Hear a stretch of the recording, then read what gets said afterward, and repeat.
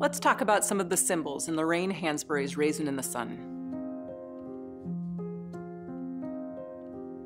The insurance money represents the dream of economic stability, and it also symbolizes the legacy of Big Walter's life of hard work.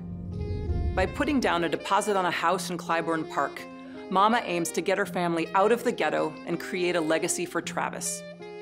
By investing with the untrustworthy Willie, Walter puts this legacy into peril, destroying the stability afforded by the check. Walter's use of the check in this way gives a dark turn to the legacy of the Younger men. By play's end, we feel the false promise of the check's possibilities.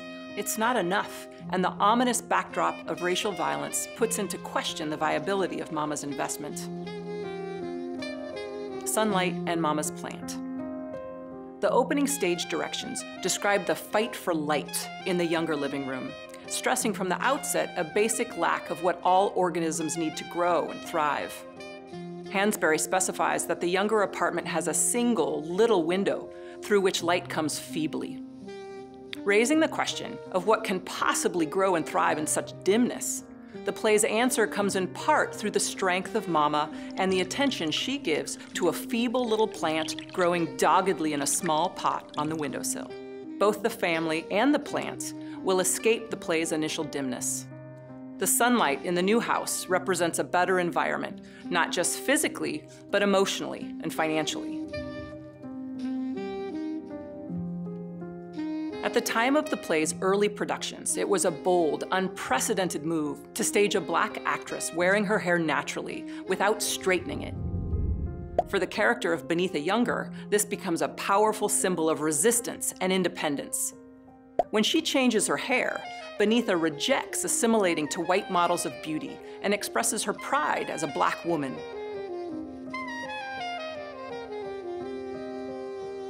Three types of music in the play represent African American community, the blues, Nigerian folk songs, and spirituals.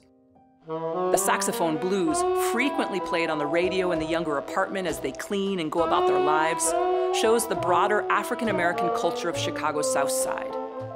The Nigerian folk songs from Asagai celebrate Nigerian communal gatherings and rituals.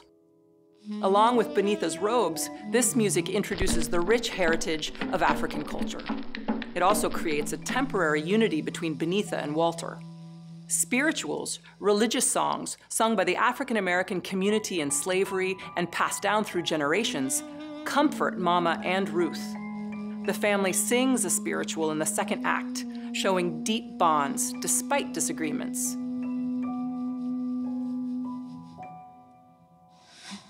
The house in Clybourne Park represents a dream realized for Mama and Ruth, a dream no longer deferred and drying up like a raisin in the sun.